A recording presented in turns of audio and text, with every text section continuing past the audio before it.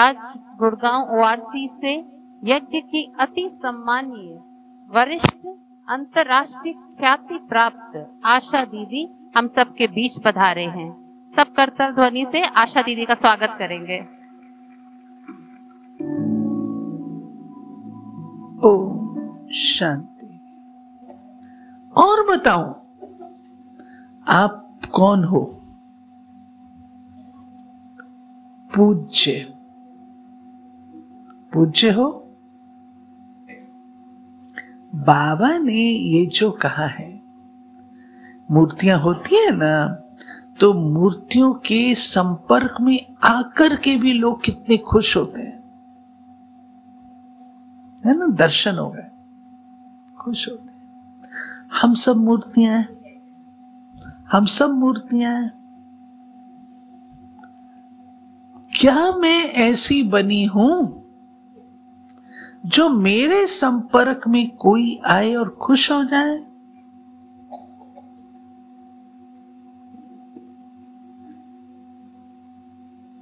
मेरे संपर्क में कोई आए और प्राप्ति का अनुभव करे। ऐसी बनी हूँ।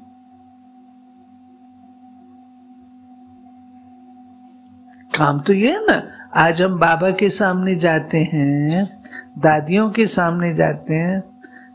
मैं दादी के सामने गई दादी ने कुछ कहा नहीं। तो मीठी मुस्कान दी, उतनी मेरे लिए बहुत है। कहते हैं ना आप लोग, बाबा की दृष्टि मुझ पर पड़ी, उतनी ही बहुत है। ये सुख कहाँ मिलेगा? परिवार।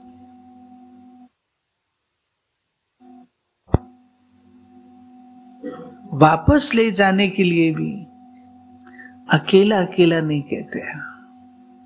इकट्ठे ले चलूँगा। कैसे चलना है? हा? बारात तैयार है बाबा की? जो बाराती तैयार है, वो हाथ खड़े करो। ये सब बाराती तैयार हैं। सजनी कोई नहीं है। विद्या बहन, देखो। कोई सजनी नहीं है।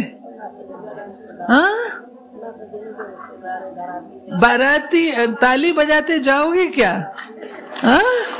कैसे जाना है? बाबा के साथ जाना है या पीछे पीछे जाना है? साथ जाना है तो हाथ क्यों खड़े किए बारात में? हाँ? क्यों खड़े किए?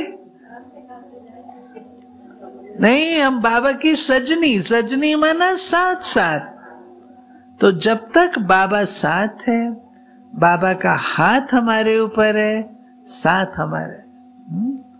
छोड़ना नहीं, बाबा का हाथ नहीं छोड़ना। आज की मुरली में आप लोग पढ़ेंगे, बाबा ने एक शब्द यूज़ किया है। कि बच्चे रियल समझ से वंचित हो जाते हैं। मैं इतना ही कहूँगी। रियल समझ से वंचित हो जाते हैं। रियल समझ किसको कहते हैं? वो आप सोचना।